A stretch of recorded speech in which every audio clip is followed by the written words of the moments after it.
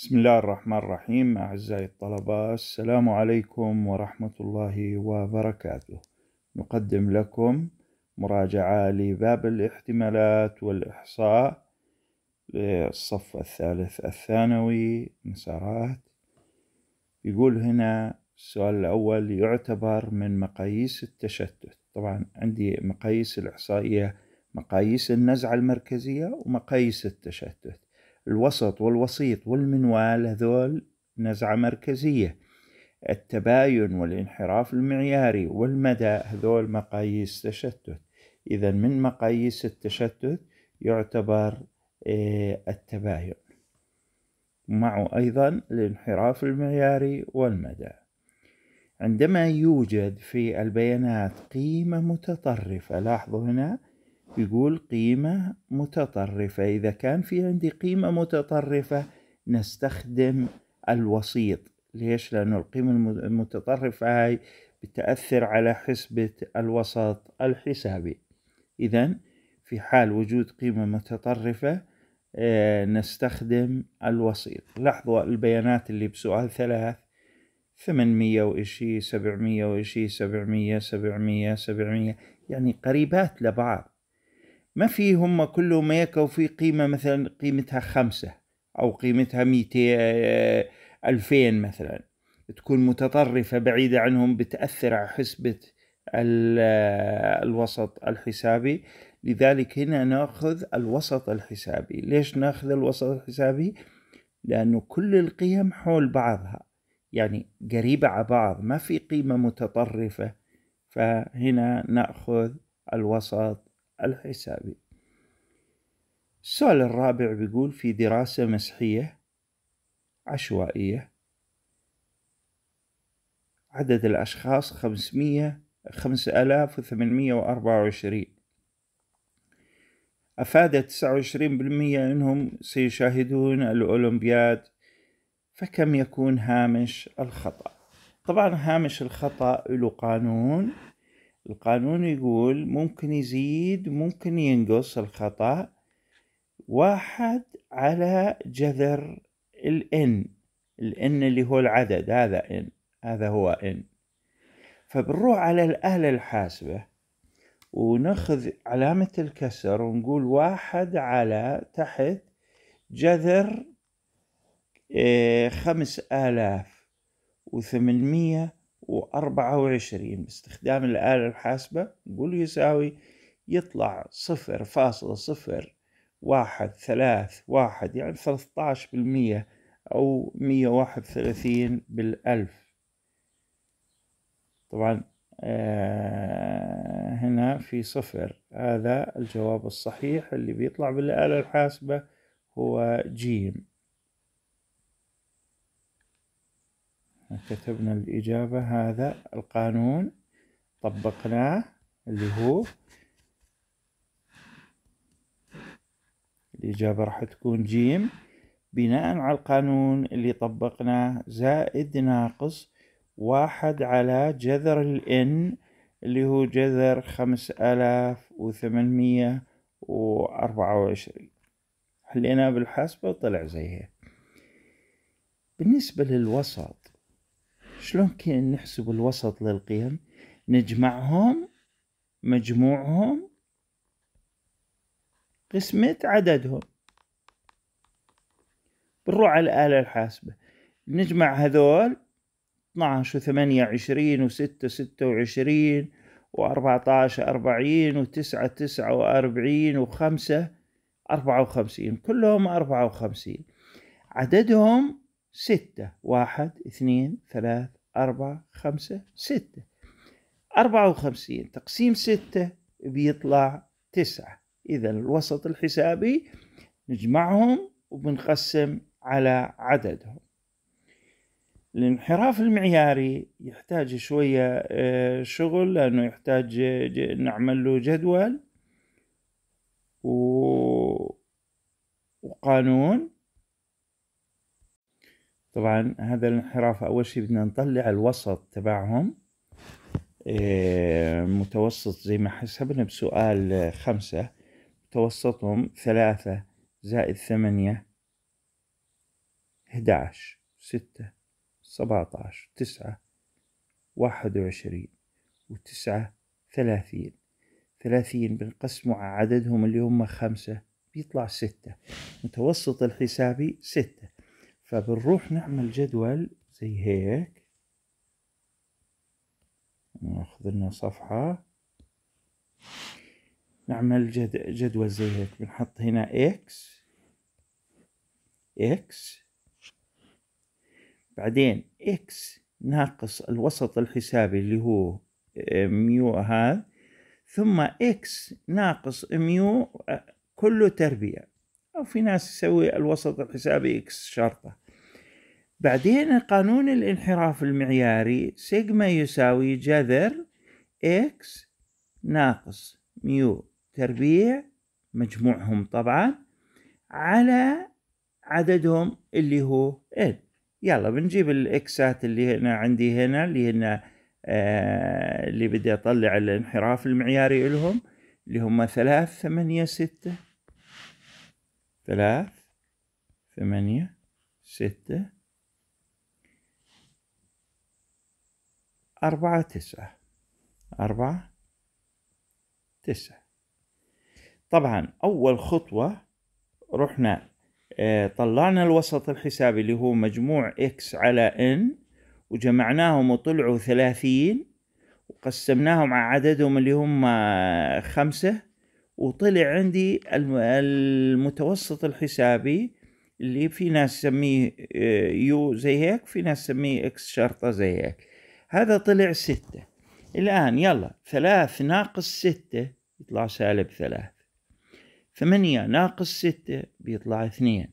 ستة ناقص ستة صفر. أربعة ناقص ستة سالب اثنين. تسعة ناقص ستة ثلاث. الآن بنربع. سالب ثلاث تربيع فيها تسعة اثنين تربيع فيها أربعة صفر تربيع فيها صفر سالب اثنين تربيع فيها أربعة وثلاثة تربيع فيها تسعة. يهمني أنا هذا المجموع. هذا المجموع كم يساوي؟ تسعة وأربعة ثلاثة عشر وثلاثة عشر ستة وعشرين. إذا المجموع هذا بيساوي ستة وعشرين. بنروح نطبقه بالقانون. الانحراف المعياري اللي هو سيجما يساوي جذر ستة وعشرين على إن اللي هي عددهم على خمسة. وبنروح على الآلة الحاسبة وبنقول آه، جذر ونعمل قوة كسر جواها ستة وعشرين وتحت خمسة. ونقول يساوي نسويها اس دي تطلع اثنين فاصلة ثمانية وعشرين. إذا باستخدام الآلة الحاسبة طلعت اثنين فاصلة ثمانية وعشرين.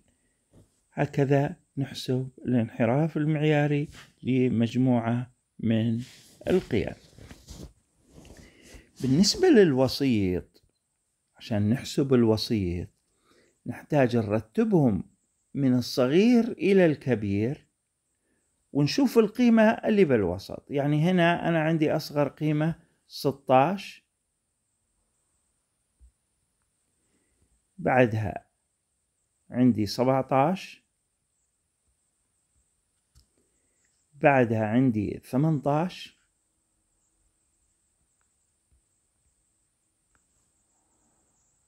ستة سبعة بعدها عندي آه، ثلاثة وعشرين. بعدها عندي ستة وعشرين. بعد ما رتبناهم نشطب القيمة الصغرى مع القيمة الكبرى والقيمة الثانية مع القيمة الثانية. مين طلع بالوسط هنا؟ اللي هو الوسيط اللي هو 18 السؤال الثامن السؤال الثامن بيقول مقياس النزعة المركزية المناسب لهذه القيم. لو لاحظنا إنها كلها حول العشرين ما عندي قيمة متطرفة. لو كلهم هذول حول العشرين وفيهم وحدة مية وخمسين مثلا صار عندي قيمة متطرفة بستخدم الوسيط. بس كونه كلهم حول العشرين بستخدم الوسط الحسابي. لو كان في مثلا أكثر من نصهم نفس القيمة متكررة بستخدم المنوال يعني في عندي تكرار كثير. بس هنا كلهم حول بعضهم فالأفضل أستخدم الوسط الحسابي بجمع وأقسم عددهم. السؤال اللي بعده بيقول يحوي كيس على خمسة وثلاثين كرة. خمس كرات منها خضراء. ثمانية زرقاء.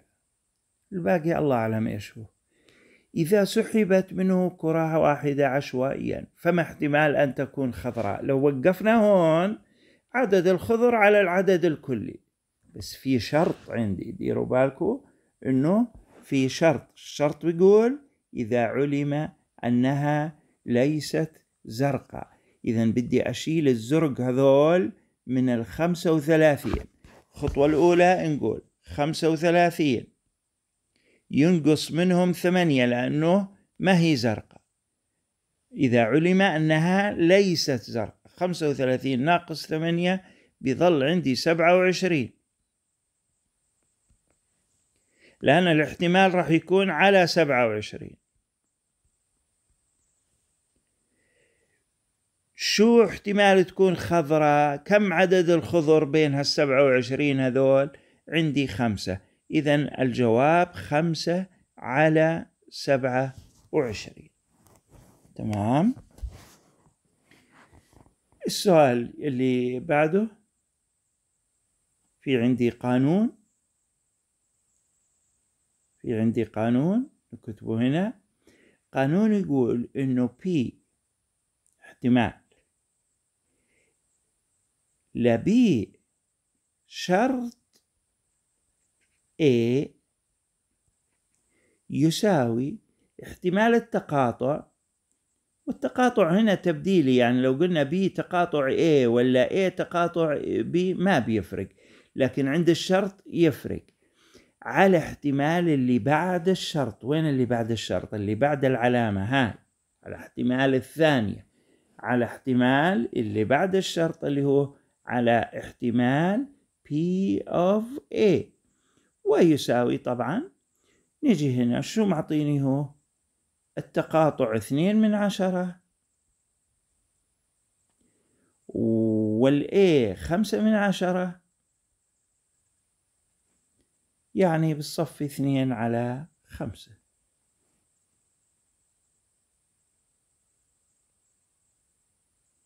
السؤال الحادي عشر. عندي جدول فيه مريض وفي معافى وفي ناس استعمل الدواء التجريبي دي وفي ناس استعمل الدواء الشكلي بي تمام؟ يقول شو احتمال بقاء الشخص معافى علما أنه استعمل الدواء الشكلي إذا أنا شغلي وين راح يكون؟ على اللي استعملوا الدواء الشكلي. فقط هذول اللي استعملوا الدواء الشكلي علما. اللي بعد علما هاي بتجي بالمقام تحت. علما أنه استعمل الدواء الشكلي. يلا بنشوف كم واحد استعمل الدواء الشكلي؟ نجي هيك نقول. كم واحد استعمل الدواء الشكلي؟ أربعمية وألف ومئتين كله ألف وستمية تمام؟ لغاية الآن. نجي على سؤاله اللي بعد احتمال. بقاء الشخص معافى؟ قديش اللي معافى بين هذول؟ أربعمية. طبعا بنختصرها. صفرين مع صفرين يظل أربعة على ستاش. وأربعة على ستاش على أربعة على أربعة فيها واحد على أربعة. إذا أنت ما يجيك جدول أول ما تروح على اللي بعد علما وبتشتغل فيها ما إلك بالباقي نهائيا.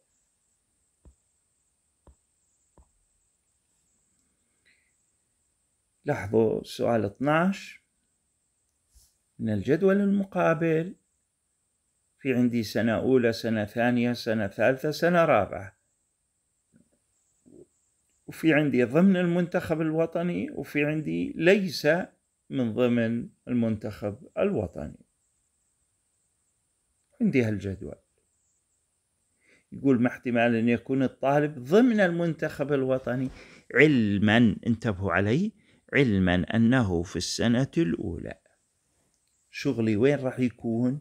فقط على السنة الأولى. ما إلي بقية الأرقام لو إنها بالملايين ما لي علاقة فيها. كم عدد اللي بالسنة الأولى يجوا كلهم تحت هنا؟ سبعة ومئتين وتسعة وستين. مئتين وستة وسبعين. مئتين لا تحت. مئتين وستة وسبعين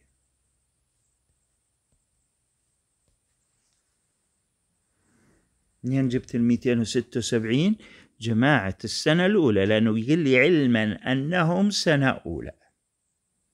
طيب شو السؤال؟ نرجع للسؤال. ما احتمال أن يكون الطالب ضمن المنتخب. ضمن المنتخب عندي سبعة. إذا سبعة على ميتين وستة وسبعين. وبنروح نساويها بالآلة الحاسبة. سبعة قسمة ميتين.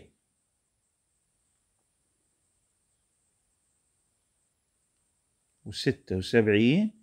نقول يساوي ونسوي لها اس دي. ونضربها بمية عشان إنه أنا بدي إياها نسبة مئوية ضرب مية بالمية ونرد نسويها اس دي تطلع اثنين فاصلة ثلاثة وخمسين مفقي ستة يعني اثنين فاصلة أربعة وخمسين أو اثنين فاصلة خمسة.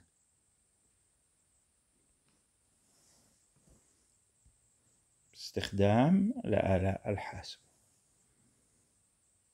السؤال اللي بعده بده شوية تركيز أيضا.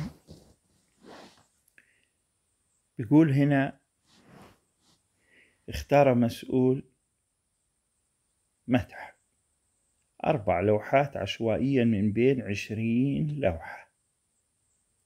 لعرضها بالمتحف. فما احتمال يكون ثلاثة منها لفنان واحد شارك بثمان وحدات. أول إشي هنا في ترتيب؟ لا. إذا الشغل على التوافيق. الشغل راح يكون على التوافيق. انتبهوا. نعمل عشان الاحتمال الخط اللي زي هيك. الآن أنا كم لوحة عندي؟ عشرين.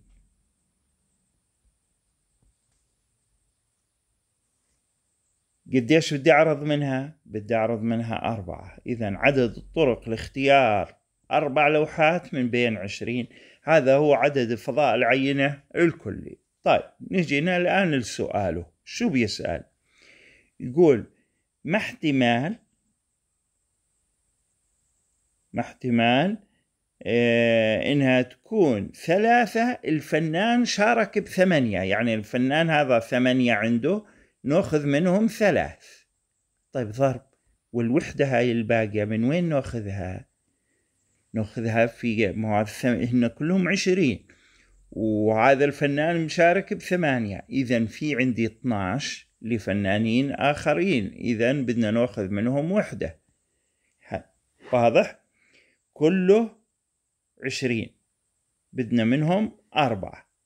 اللي بيسأل عنه ثلاثة من الثمانية ووحدة من 12 الباقية.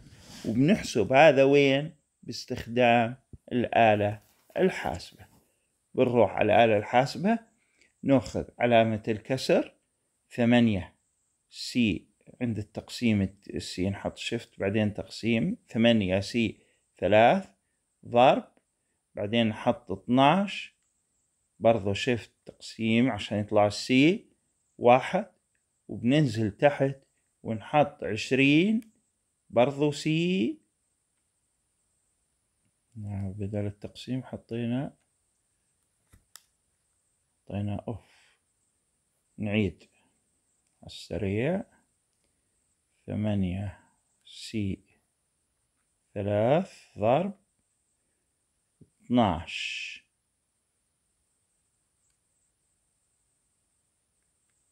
C واحد وننزل تحت عشرين. C أربعة. ونقول يساوي. طلعت 224 على 1615 نعملها SD لأنه عندي كسور عشرية هنا. ولأنه نسبة مئويه بضرب بمية إذا أعطاك نسبة مئويه أضرب بمية ونرد نعمل اس دي مرة ثانية 13.87 يعني تقريبا 13.9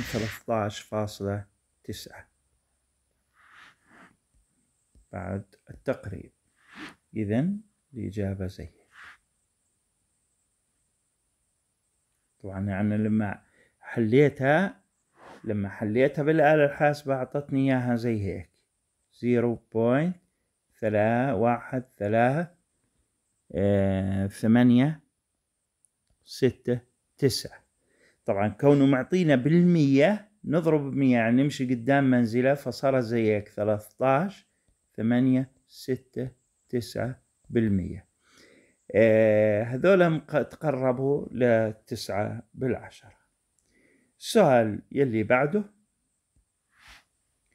اشترك صلاح وعبد الله وسليم في سباق مع خمسة رياضيين. ما احتمال أن ينهي هؤلاء الثلاثة السباق في المراكز الثلاثة الأولى.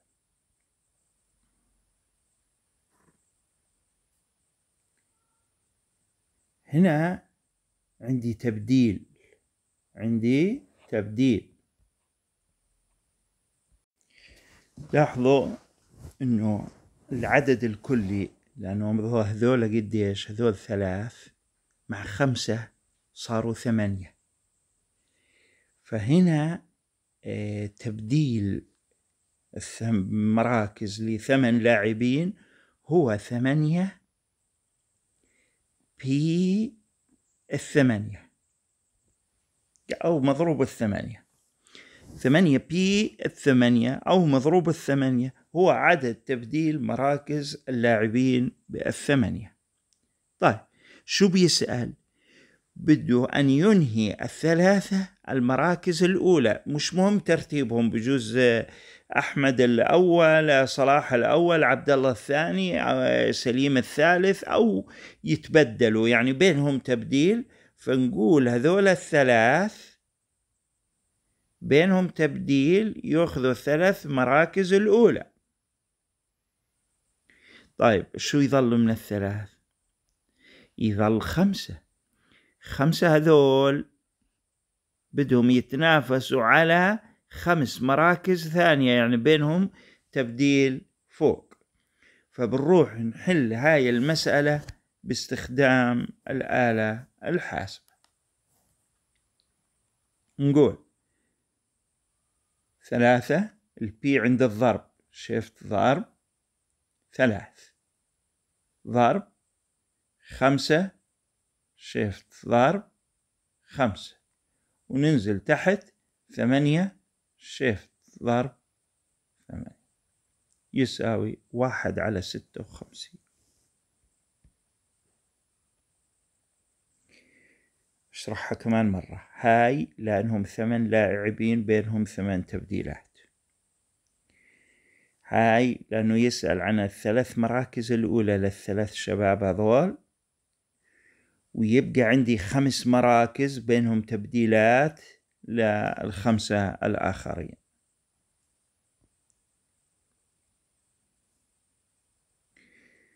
السؤال الخامس عشر. دخل طلاب فصل أحد فصول الثالث ثانوي وعددهم 15 طالب المختبر فاختار المعلم ثلاثة. فما احتمال أن يكونوا بالترتيب محمد ثم علي ثم محمود.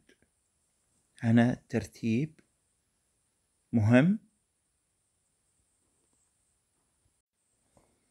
طبعا ترتيب مهم. وهنا حتى هذول الثلاث محددين يعني طريقة واحدة. ما في تبديل بينهم زي الثلاث اللي قبل شوية. قلنا ثلاثة بي ثلاث. لا هذولا آه، ما في بينهم إلا طريقة واحدة واحد على لأنه محددين. آه، أنا عندي خمسطاش طالب والترتيب مهم يعني بي وبدي أختار منهم ثلاث. نروح نحل هاي على آلة الحاسبة تطلع واحد على ألفين وسبعمية وثلاثين. السؤال السادس عشر. الشكل المقابل يوضح التوزيع الاحتمالي يعني احتمالات. عند زراعة أربع بذور ما احتمال أن تكون زهرتان؟ حمراء على الأقل.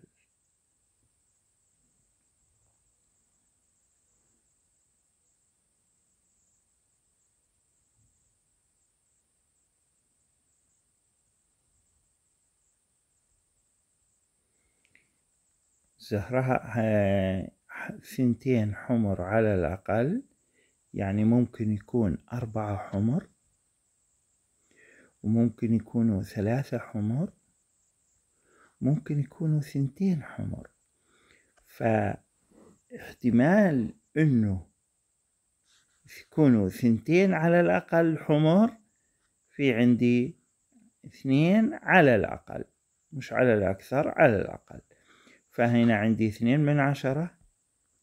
زائد هاي عندي واحد من عشرة. زائد وهاي اللي أربعة عندي نص. يعني فكله يطلع خمسة وثلاثين بالمية.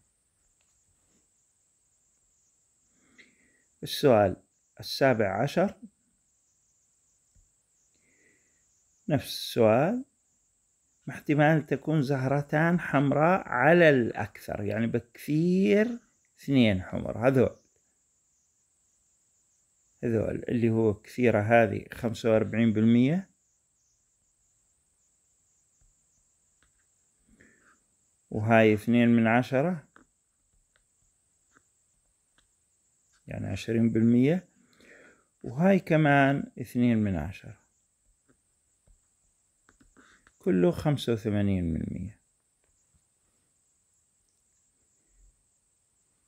السؤال الثامن عشر. قام أحد طلاب الصفوف في مدرسة ما بجمع بعض الأطعمة في طرود كما في الجدول التالي. فما هو احتمال أن يحتوي طرد عشوائي على قمح؟ كم عدد القمح عندي؟ خمسة وأربعين. كم العدد الكلي؟ نجمع. ذول يصيروا ثمانية وخمسين ستين سبعين. سبعين وخمسة وأربعين مية وخمسطاش. خمسة وأربعين على مية وخمسطاش. ونبسطها باستخدام الآلة الحاسبة على خمسطاش على بتقسم عليه خمسة وأربعين على مية. يطلع تسعة على ثلاثة وعشرين.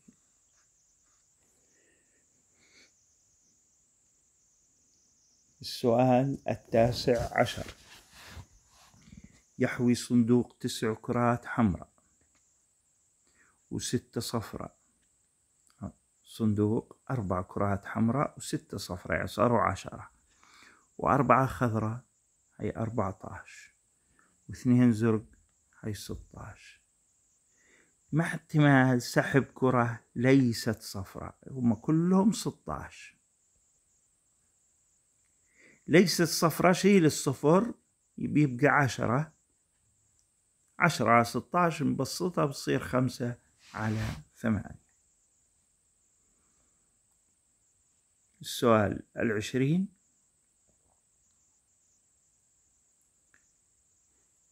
السؤال العشرين. السؤال العشرين يقول من التمثيل المجاور شو احتمال إنه يقف المؤشر على لون معين بنفسجي أو أخضر؟ يعني بدنا نجمع البنفسجي هذا والأخضر هذا. تمام؟ بنفسجي معطينا واحد على أربعة. زائد الأخضر معطيني واحد على ستة. طبعا يحتاج توحيد مقامات أو بالآلة الحاسبة يعني لو ضربنا هاي بثلاث وهاي بثلاث وهاي باثنين وهاي باثنين بيصير عندي ثلاث على اثناش واثنين على اثناش كله خمسة على اثناش. أو باستخدام الآلة الحاسبة. السؤال الأول اللي بعده واحد وعشرين يقول الجدول التالي يوضح التوزيع الاحتمالي لعدد الأيام الممطرة في العام أوجد قيمة S. عشان نجد قيمة S مجموع الاحتمال هذا كله بده يكون واحد صحيح. يعني راح يكون S راح تكون واحد ناقص مجموع الاحتمالات هذولا كلهم. يلا نروح نجمع بالآلة الحاسبة. بنجيب الآلة الحاسبة. أول واحد صفر point one. زائد صفر point one. زائد صفر point one five. زائد صفر point one five زائد وصفر point one زائد صفر point صفر ثمانية زائد صفر point صفر خمسة زائد صفر point صفر اثنين. يساوي كله ثلاث أرباع ثلاث أرباع طبعا عندي إياها بالكسور العشرية خمسة وسبعين بالمية. إذا كل اللي جمعناهن جوا الجدول الاحتمالات اللي مظللة بالأصفر ما عدا S طبعا طلعوا خمسة وسبعين بالمية وهم لازم يكونوا كلهم واحد. فنقول واحد ناقص خمسة وسبعين بالمية يطلع خمسة وعشرين بالمية. يطلع عندي إنه بي إس لازم تكون خمسة وعشرين بالمية عشان يطلع المجموع واحد.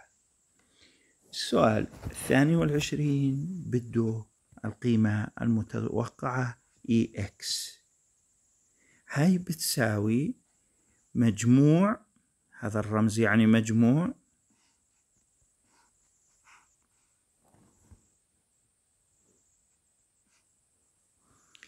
مجموع x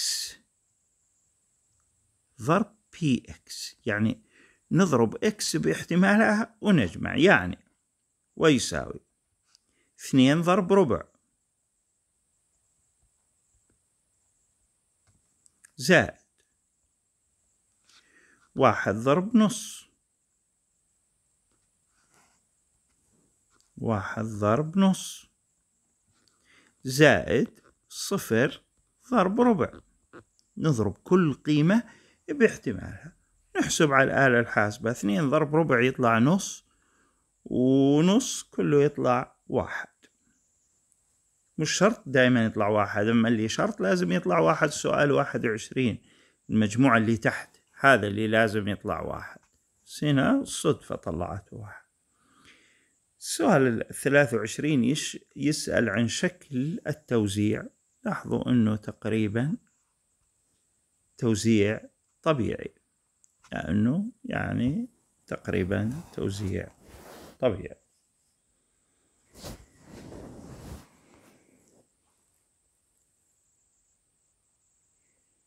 السؤال الرابع والعشرين بيقول إنه في مئة موظف في شركة تتوزع طبيعيا بوسط مقداره سبعين حراف معياري مقداره عشرة. أوجد العدد التقريبي للموظفين الذين تقع أوزانهم بين ستين وثمانين. يعني لو جبنا التوزيع الطبيعي زي هيك هاي التوزيع الطبيعي. عندي الوسط هذا قديش؟ هنا. الوسط يلي هنا معطيني إياه سبعين. الانحراف المعياري الانحراف المعياري قيمته عشرة. يعني لو مشينا قدام عشرة وين نروح؟ على الثمانين. ولو نزلنا تحت عشرة وين نروح؟ على الستين. يسأل عن هاي المنطقة شو تمثل؟ هاي بين على انحراف واحد تأخذ أربعة وثلاثين بالمية. وهاي أربعة وثلاثين بالمية القاعدة بتقول إنه هذول هاي أربعة وثلاثين بالمية. وهاي أربعة وثلاثين بالمية كله قديش؟ ثمانية وستين بالمية. ثمانية وستين نضربها بالعدد الكلي أنا عندي مئة موظف ثمانية وستين بالمية. ضرب مية بيطلع ثمانية وستين. السؤال اللي بعده بيقول عندي ثمانمية وثمانين طالب آه توزع بشكل سبعة وستين هنا. عندي الوسط سبعة وستين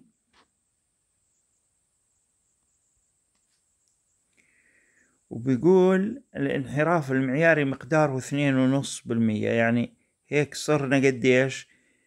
تسعة وستين ونص وبده نصل لاثنين وسبعين وهيك اثنين وسبعين يعني بانحرافين اثنين وسبعين. طبعا هاي كلها خمسين بالمية وهاي أربعة وثلاثين بالمية. وهاي وهاي ثلاثطاش ونص بالمية. تمام. وشو يقول؟ وين السؤال؟ فكم؟ آه طالب تزيد أطواله عن آه اثنين وسبعين بهاي المنطقة. هاي تأخذ فقط اثنين ونص بالمية. هاي اثنين ونص بالمية. اثنين ونص على مية. ضرب العدد الكلي اللي هو ثمانمية وثمانين. فليش؟ لأنه كل هذولا يطلعوا سبعة وتسعين ونص. المنطقة اللي بتزيد على اثنين وسبعين بالمية هي اثنين ونص بالمية. بنروح على هنا اثنين ونص قسمة مية لأنه هيك التوزيع الطبيعي مقسم الخانات. الوسط تحته خمسين بالمية فوقه خمسين بالمية. بعد انحراف معياري واحد أربعة وثلاثين بالمية من هنا وأربعة وثلاثين من هنا. بعد انحرافين ثلاثة ونص ثلاثة ونص. آخر إشي اثنين ونص من هنا اثنين ونص. أنا يهمني اللي بيزيد إذا عندي اثنين ونص بالمية ضرب عدد الطلاب الكلي اللي هو ثمانمية وثمانين ويساوي اثنين وعشرين طالب. طلع عندي اثنين وعشرين طالب.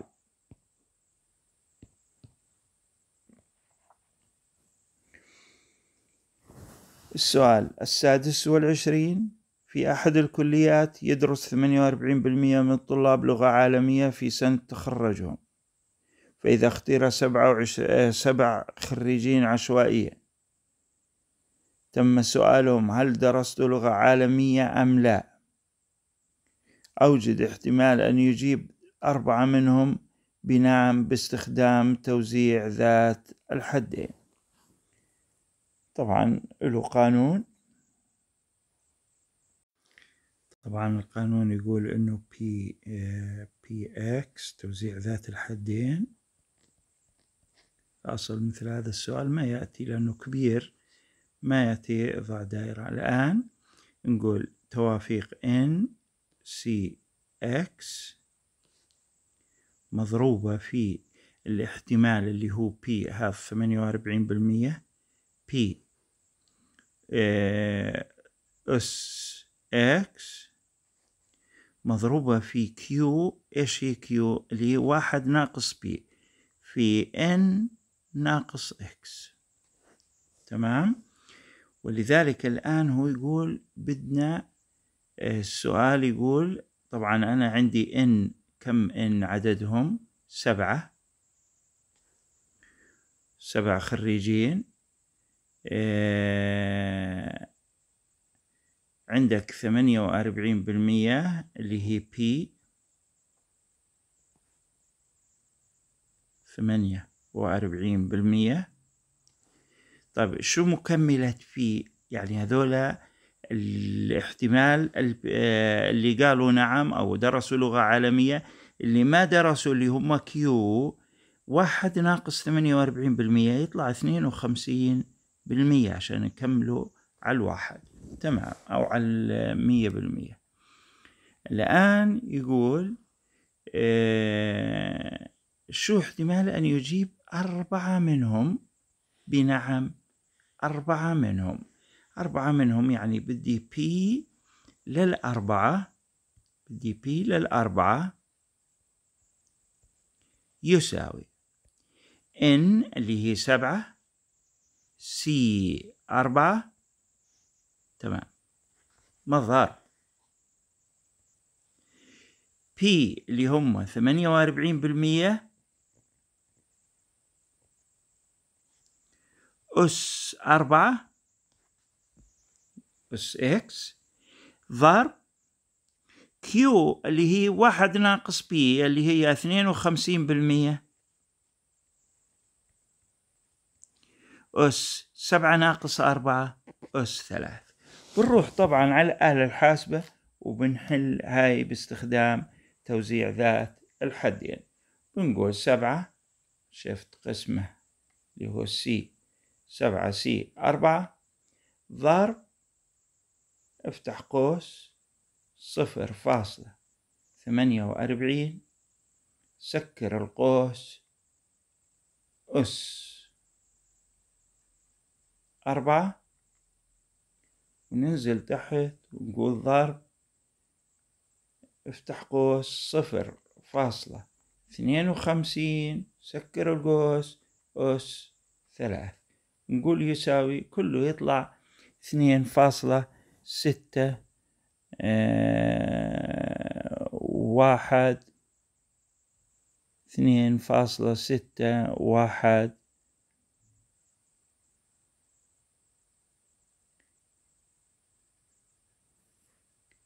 وين السؤال؟ آه اثنين فاصلة ستة واحد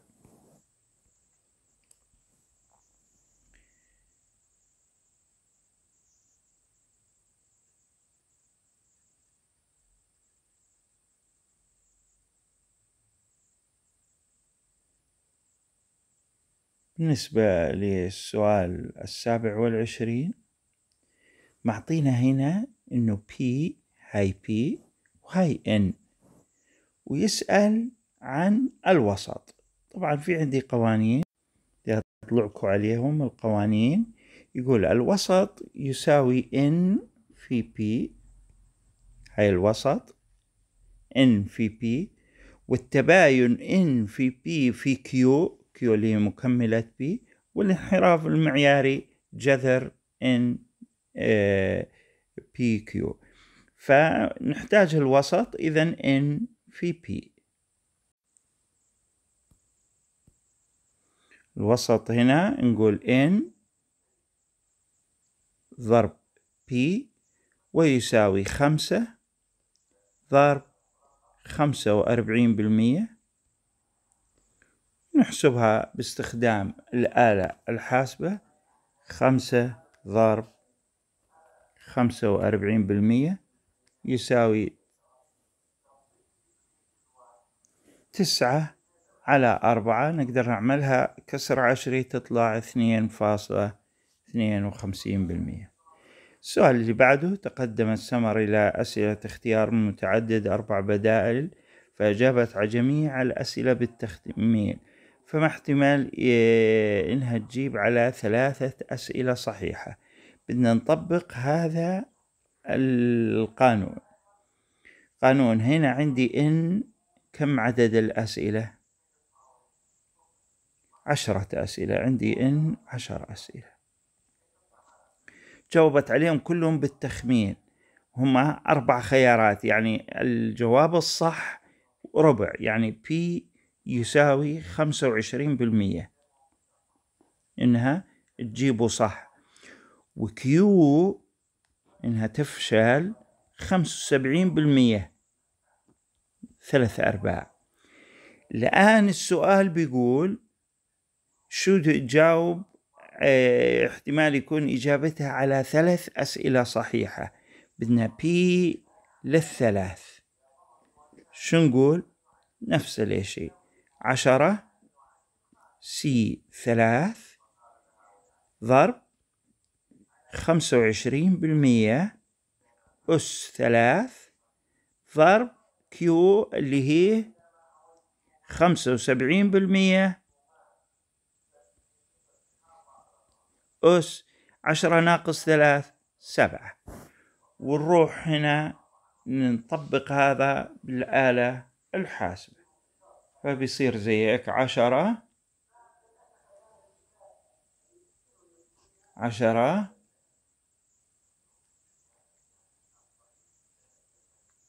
ضرب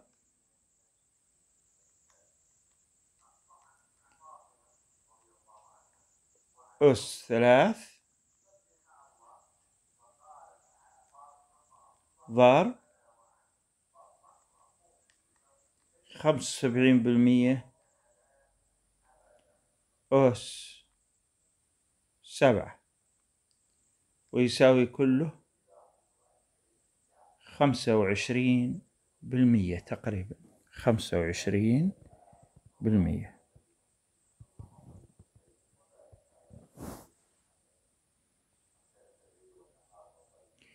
بالنسبة لأسئلة آه، الصح والخطأ هي هي أمامكم ومجاوبة. ملوا لها شورت كات. إن شاء الله نشرح نماذج أخرى بإذن الله تعالى. بإذن الله نرجو منكم إعطاء لايك والدعم المادي بشكرا حتى نستمر صراحة يعني حتى نست... نستطيع الاستمرار لابد من آه، آه، إنكم تدعموا. فنستمر بدعمكم وأنتم استمروا بدعمنا. شكرا لكم. السلام عليكم ورحمة الله وبركاته.